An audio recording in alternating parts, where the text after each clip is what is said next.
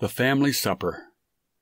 When the Hainers all got together once a year during the holidays, they came from all points USA. Between the three daughters and two sons, they represented Kentucky, Idaho, Virginia, and Pennsylvania, with a total of 19 men, women, and children.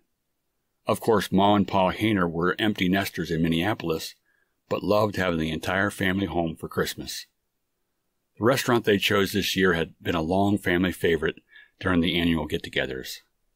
Its specialty was its vast array of pies that they baked in house, plus, they served an all around mixture of common American food. In recent years, however, the place closest to them had fallen on hard times and service had gone downhill. Still, it was nearby, and they were almost guaranteed immediate service with plenty of room for the entire family. Amy, the waitress, seated the family without a wait, handed out menus, and took drink orders. As she walked over to the computer to enter the order, the only other customer in the restaurant called her over and began berating her loudly, something about slow service and cold food. She said nothing during the rant. How could she? He wouldn't let her say a word. He and his wife grabbed their coats and stormed out of the restaurant. Amy looked in the direction of the only customers in the restaurant, the Hainers.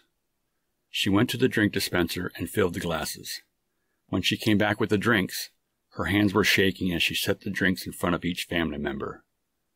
Son in law Terry said to her, Amy, don't let it get to you. Shake it off. He was just being a jerk, that guy. No reason to talk to you like that.